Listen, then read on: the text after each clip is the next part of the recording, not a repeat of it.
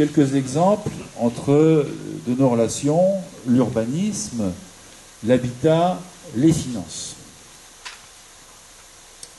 Alors j'ai omis l'espace public, non pas que je ne pourrais rien dire, simplement c'est un problème de temps. Alors l'urbanisme, je vous propose d'aborder la question en deux temps, du plan d'occupation des sols d'autrefois au plan local d'urbanisme, finalement regarder ce qui s'est passé entre les années 2000 à nos jours. Le, contexte. Avant la création de la communauté urbaine, la compétence d'élaboration d'un plan d'occupation des sols était une compétence communale. La commune portait seule la responsabilité de l'élaboration de son plan d'occupation des sols. Le district, à l'époque, qui est l'ancêtre de la communauté urbaine, était consulté, comme on consultait l'État, la région, le département, les intercommunalités voisines, pour que la, structure puisse donner son avis sur est-ce que votre projet pose un problème par rapport à l'exercice de nos compétences, oui, non. Donc, une consultation, un avis formalisé, mais un avis. Et euh, le plan d'occupation des sols, à l'époque, comme aujourd'hui le plus, devait euh, fixer les règles qui permettaient de définir les règles de construction en garantissant un minimum de cohérence entre les objectifs d'aménagement du territoire édictés par l'État et la commune, lieu géographiquement plus restreint bien entendu.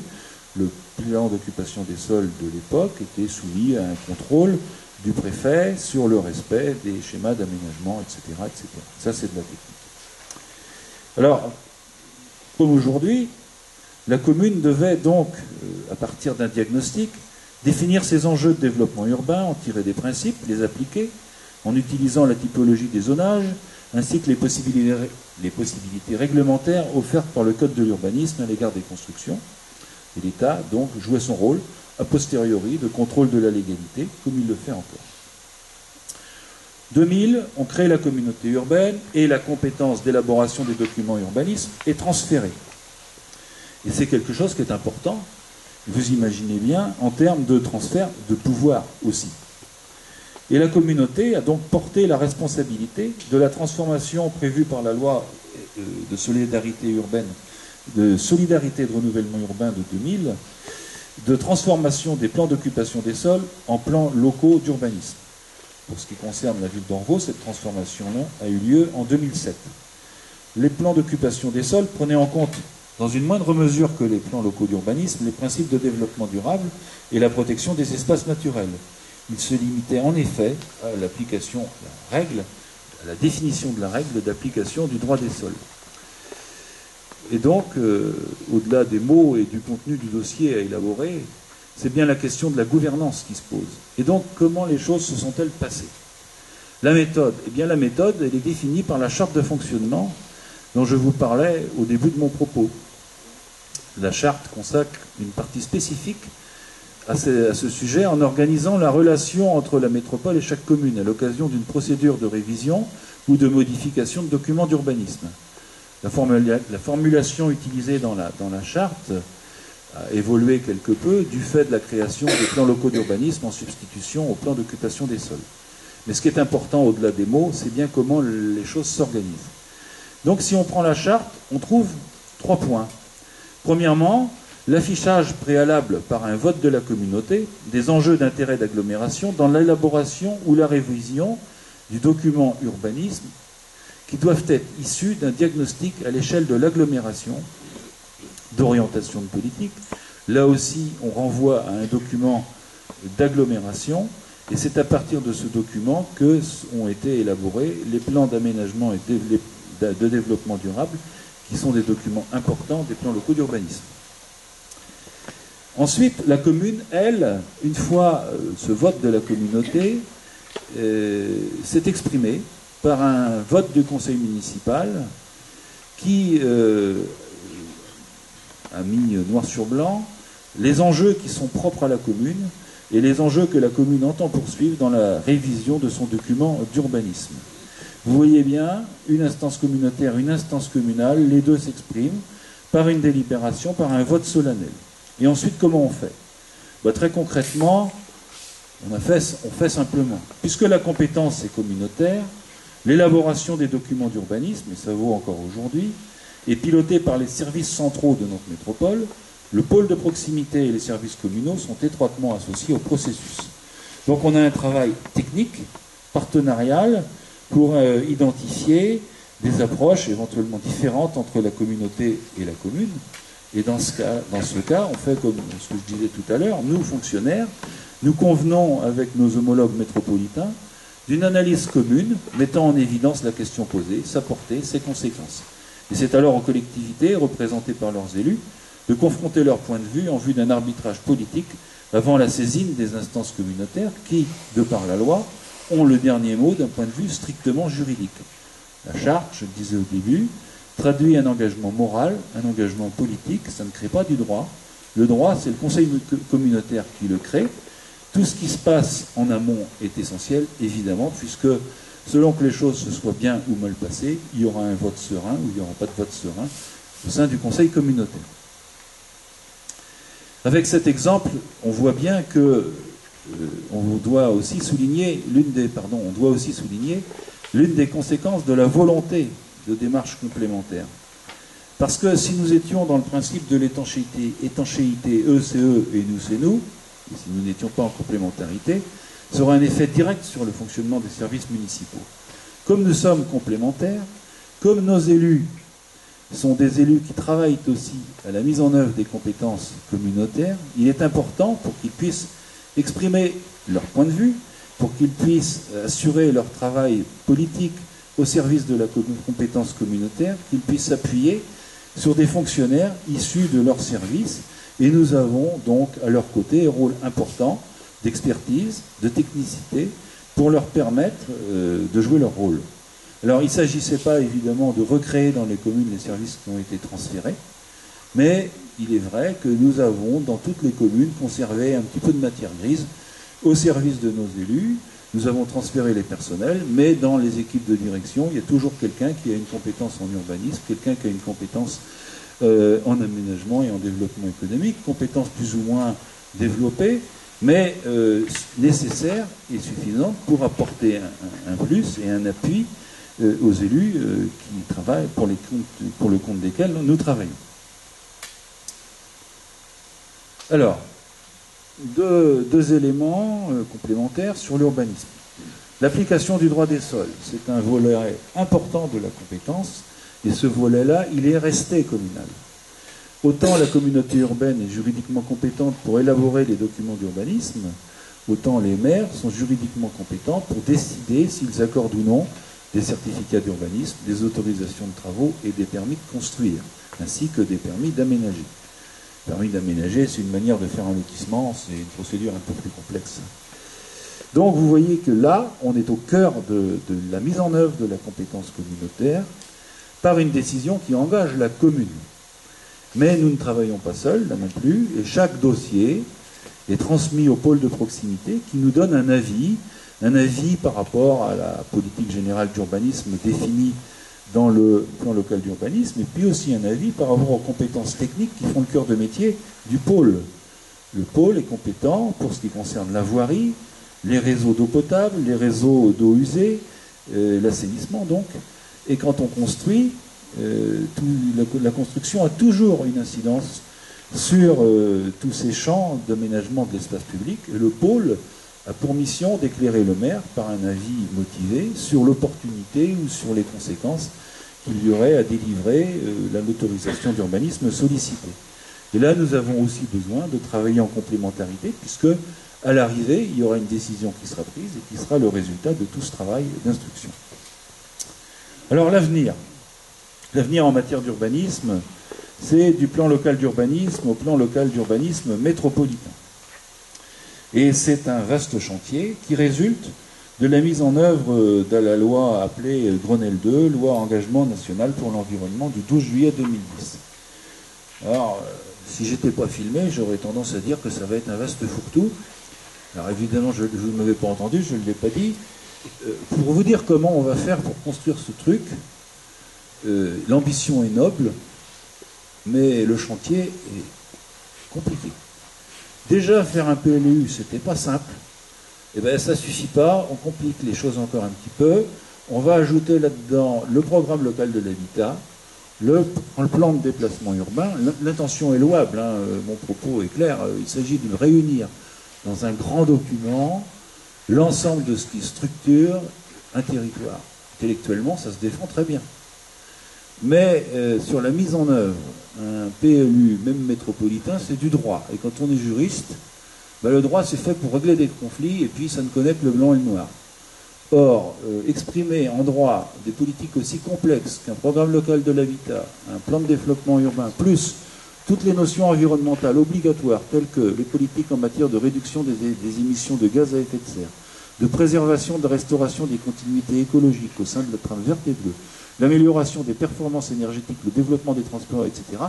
Tout ça, c'est très très bien, mais pour exprimer ça dans des termes que les juges pourront utiliser au tribunal administratif ou au Conseil d'État, eh bien franchement, ils vont avoir du travail. Et nous allons avoir du travail. Enfin, nous, pas trop, parce que nous, on est petites mains dans l'histoire, dans les communes. Mais euh, il y a un vrai défi intellectuel et il y a un vrai défi professionnel. Et euh, je pense qu'il va être important que tout le monde travaille ensemble pour y parvenir. Parce que ce que je viens de dire, avec un petit point d'ironie, ce n'est rien d'autre que l'application d'une loi. Donc ça a vocation à s'appliquer. Et, bien, euh, nous sommes partis. Le train est parti. Euh, le train est parti le 14 décembre 2012. Le Conseil communautaire a décidé d'engager l'élaboration de son plan local d'urbanisme et s'est fixé une échéance qui serait 2017. Eh bien, euh, croyez-moi, les, gens du département général du développement urbain de Nantes Métropole vont pas s'ennuyer, et les gens qui travaillent à l'urbanisme dans les pôles et dans les communes vont pas s'ennuyer non plus. Parce que tout ce que je viens de dire là, je vous assure que c'est un vrai souci. Alors, comment ça va se passer? Ben, J'en sais rien. Ce qui est certain, en tout cas, c'est que euh, la charte va jouer un rôle essentiel. Parce que là aussi, euh, la charte, elle définit euh, le respect de l'identité communale, elle prend en compte l'identité communale et elle dit comment les élus communaux seront ou sont associés, et c'est ce que je vous présentais tout à l'heure. Comment sera-t-elle appliquée dans ce, vaste chantier au sens noble du terme? La question se pose. D'autant que, autant aujourd'hui, les documents d'urbanisme, ce sont des documents qui euh, ont une vocation à s'appliquer sur le territoire communal. Demain, le PLU métropolitain sera unique et indivisible et s'appliquera sur l'ensemble de l'agglomération nantaise. Donc il va falloir combiner à la fois la dimension d'agglomération et à la fois la dimension communale pour tenir compte des particularismes locaux. C'est un véritable pari, et c'est un dossier qui va forcément être passionnant.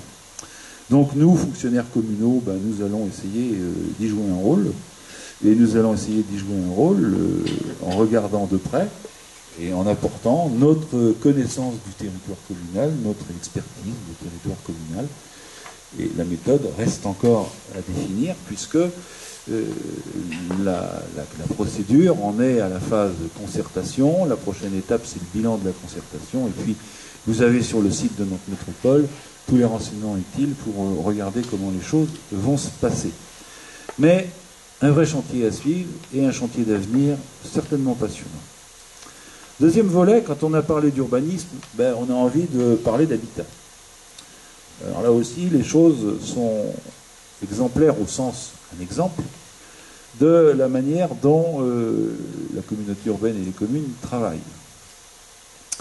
Alors, ce que je vais vous dire est principalement tiré d'un document élaboré en septembre 2010 par les services de, Nantes Métropole, mais je l'utilise parce que, euh, nous avons euh, activement contribué à son élaboration, puisque euh, la ville d'Orvaux était euh, maître d'ouvrage d'une zone d'aménagement concerté, le nouveau quartier des Garettes, et que cette ZAC était un peu un laboratoire sur la manière dont la compétence habitat pouvait être transférée à la communauté urbaine. Le transfert de la compétence habitat est intervenu en 2010, et là aussi, ce n'était pas neutre. Comment faire pour que la dimension communale puisse être conjuguée avec la dimension intercommunale, sachant qu'avec le transfert, la maîtrise d'ouvrage, autrement dit le pouvoir, a été transféré de la ville de à la communauté urbaine.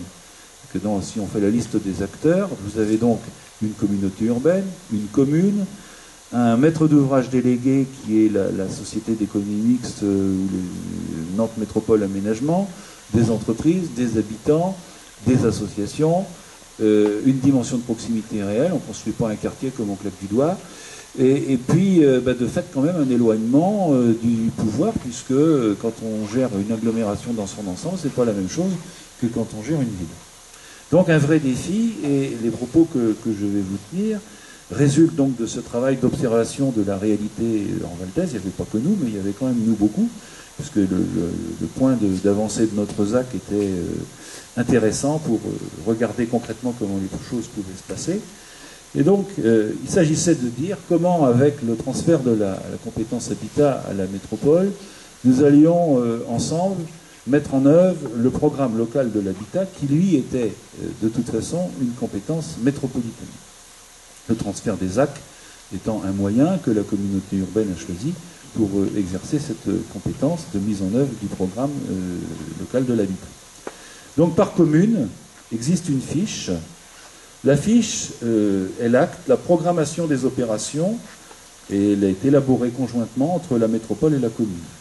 Elle établit, à l'issue de tout un travail partenarial, le volume de logements définissant la construction, la contribution de la commune à la réalisation des objectifs du programme local de l'habitat, les objectifs en matière de logement social, en logement abordable, les logements libres sur le territoire de la commune, et elle définit une priorisation des zones à développer avec les opérations que Nantes Métropole accompagnera au travers de ses politiques publiques sur la durée du programme local de l'habitat.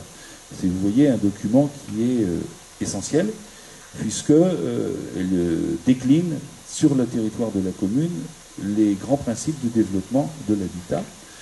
La fiche communale est mise à jour et actualisée une fois par an. Elle est établie donc euh, par, euh, au terme d'un travail technique.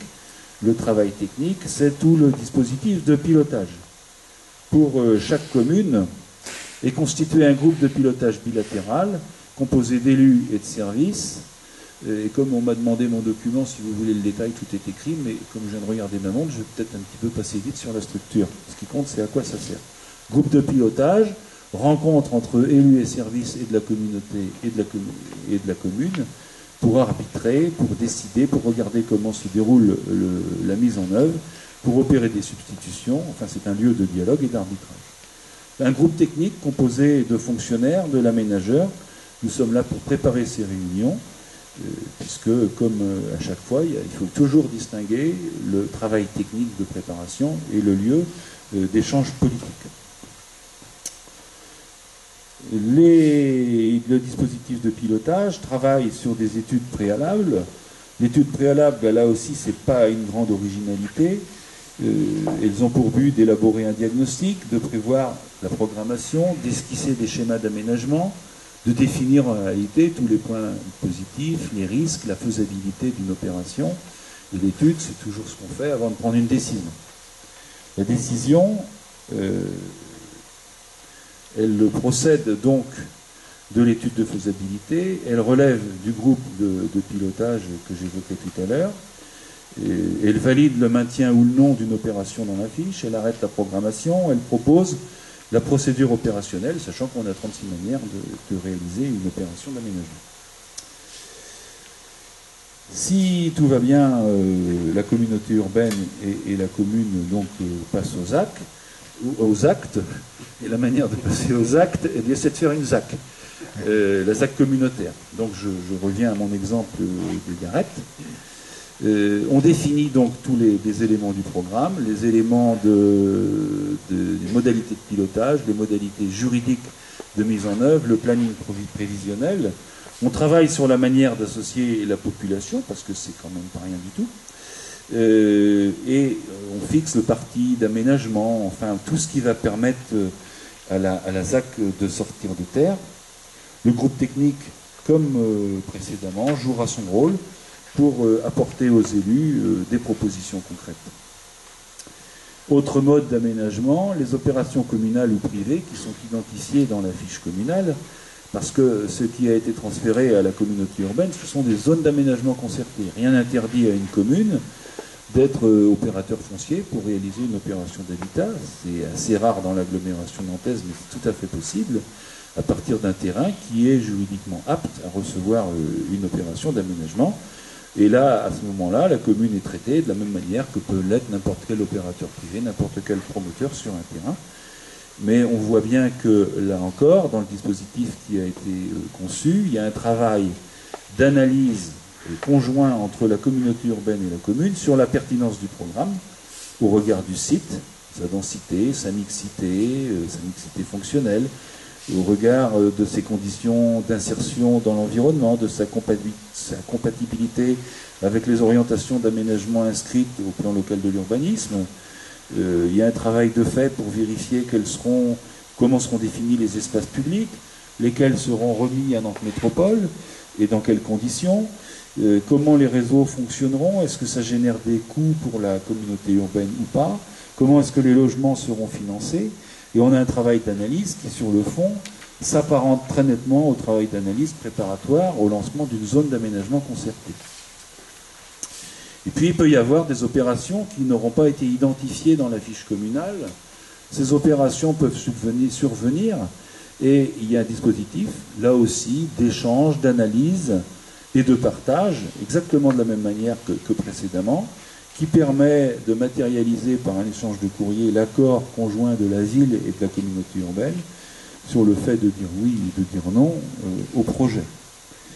En l'absence d'accord de notre Métropole, si le projet est réalisé, ça veut dire que la communauté urbaine se réserve la possibilité de refuser d'investir au titre de ses compétences et qu'elle peut aussi se refuser de prendre ensuite dans son patrimoine les équipements d'espace public qui auront été construits.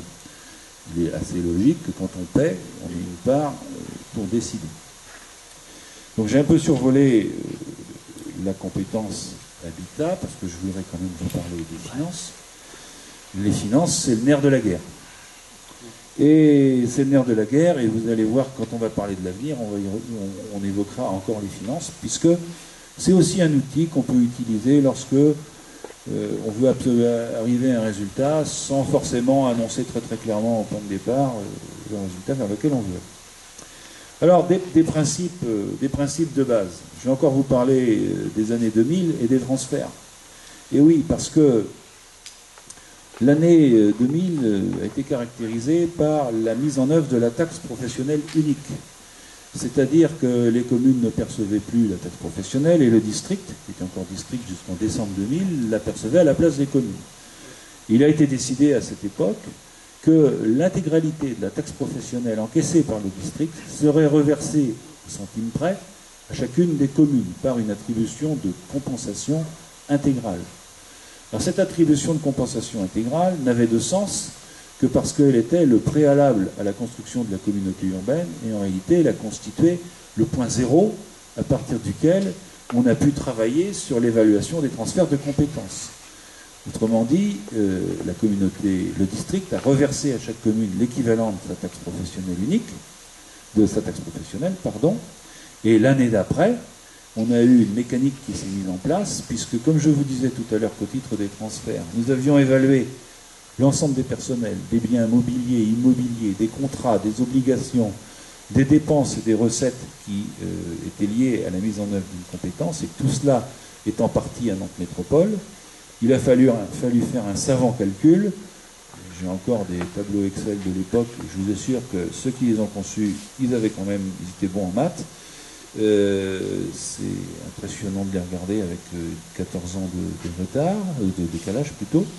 Et euh, ces tableaux ont permis de calculer exactement, sur la base des déclarations des communes, le coût réel transféré à la communauté urbaine dans l'exercice d'une compétence. Et ce coût réel, net, a été défalqué de l'attribution de compensation, de sorte que le transfert de compétences se fasse à coût zéro pour la collectivité nouvelle qui était la communauté urbaine, et à perte zéro pour la commune qui avait transféré ses compétences. Et quand on prend les dépenses de personnel de l'époque, en 2000, l'ensemble des personnels transférés euh, des communes vers euh, la communauté urbaine représentait, je crois, 2000 ou 2500 personnes, je ne suis pas trop sûr de mon chiffre. Et à l'époque, il y a eu 42 postes de créés en tout et pour tout sur l'ensemble de l'agglomération thèse, pour permettre la mise en œuvre de la communauté urbaine. Depuis, la, vie a fait que les choses ont évolué, mais à l'époque, on était dans une logique de transfert strict à périmètre euh, identique. Et cette euh, attribution de compensation, qui était donc réduite pour euh, tenir compte de ce transfert, est figée de par la loi, et nous l'apercevons chaque année avec des valeurs qui n'évoluent plus. Alors évidemment, à l'époque, on s'était dit, et la loi le prévoyait, bah oui, mais sauf que la taxe professionnelle va progresser, les communes, la communauté urbaine va, faire des gains, le développement économique, comment on se partage Le gâteau. Alors, euh, bah, le gâteau, en fait, euh, c'est la dotation de solidarité communautaire. Alors, ça a un petit côté usine à gaz, mais euh, ce n'est pas dénué de fondement. En réalité, la dotation de solidarité communautaire est un outil mis à la disposition des structures intercommunales pour repartager des recettes entre les communes qui la composent, une fois évidemment que la communauté a financé ses propres dépenses, autrement c'est pas bien logique, euh, et donc ça suppose qu'il y ait des choix sur ce qui va constituer le budget communautaire. la règle, on voit bien depuis le début, et ça vaut encore pour le budget 2013 euh, et 2014, il reste un nombre de millions à partager entre euh, les communes. Et la règle du partage, là on applique la loi, des critères obligatoires, alors à l'époque on parlait de potentiel fiscal, on parle de potentiel financier, c'est un savant calcul qui est là pour euh, essayer de replacer sur une base égalitaire toutes les communes et regarder quelle est leur richesse fiscale dont elles peuvent disposer. C'est un outil de, répartition. On peut trouver d'autres critères, la longueur de la voirie, le nombre des, cases. Enfin bon, le, Conseil communautaire a une liberté encadrée. Il y a un certain nombre de critères obligatoires. Les autres sont libres. Ce qui est certain, en tout cas, c'est que les budgets communaux sont très régulièrement abondés par cette dotation, dont le montant euh, n'est pas négligeable. Il faut quand même savoir que la dotation de solidarité communautaire résulte de la volonté de la structure intercommunale euh, et n'a aucun caractère euh, obligatoire. De toute façon, euh, la question de la relation financière ne se traite pas à cause dans un cadre d'obligation, ça se traite dans un cadre de négociation. La communauté urbaine ne verse pas de subventions aux communes. Certaines structures intercommunales utilisent la technique d'un fonds de concours. C'est une manière de redonner de l'argent aux communes lorsque la commune intervient dans un certain nombre de domaines. La communauté urbaine préfère abonder l'enveloppe de dotation solidarité communautaire. Elle considère que c'est libre d'emploi et que ça respecte beaucoup plus l'indépendance de chacune des communes. Et puis, euh, on a quand même une autre manière de regarder la réalité financière, c'est que chaque année, la communauté urbaine investit sur son territoire, mais en investissant sur son territoire, elle investit sur le territoire communal. Et elle répond aux sollicitations de la population, relayé toujours par les élus communaux. Et c'est important de regarder le nombre de milliers d'euros ou de millions d'euros qui sont investis chaque année par la communauté urbaine sur le territoire communal. Et c'est une manière de traiter de la réalité financière. Alors les choses pourraient paraître, simples si je m'arrêtais là. En réalité, elles sont plus, complexes, puisque je vous disais que on est dans une logique non pas juridique, mais une euh, logique euh, politique. La réalité politique, c'est que ça, renvoie à deux notions. Le projet de territoire, le pacte financier. La définition d'un pacte financier sans projet de territoire, c'est un choix de répartition de ressources sans réflexion sur leur utilisation. De la même manière, un projet de territoire sans réflexion sur l'adéquation des moyens a toutes les chances de rester lettre morte. Un pacte financier, consiste dans un compromis local portant sur le partage des ressources en vue de la réalisation du projet de territoire. Autrement dit, pour faire simple, qu'est-ce qu'on a envie de faire en service public de proximité sur les territoires de l'agglomération? Qu'est-ce qui est important? Quels sont les enjeux? Quel est le diagnostic? Et puis ensuite, qui va le faire? Est-ce que c'est la communauté urbaine ou est-ce que ce sont les communes? Et une fois qu'on sait qui va le faire, combien ça coûte? Et puis on regarde ce qui rentre, je suis un petit peu simpliste, mais je vous assure que c'est comme ça que ça marche. Qu'est-ce qui rentre dans les caisses en termes de fiscalité? La mode n'étant pas l'augmentation des impôts, euh, on dit bien qu'il y a quand même quelque chose de contraint. C'est-à-dire qu'on bâtit pas un projet, puis ensuite on envoie l'addition, si on regarde ce qu'on a d'abord dans la poche, et ensuite on fait ses dépenses. La communauté urbaine fonctionne comme ça.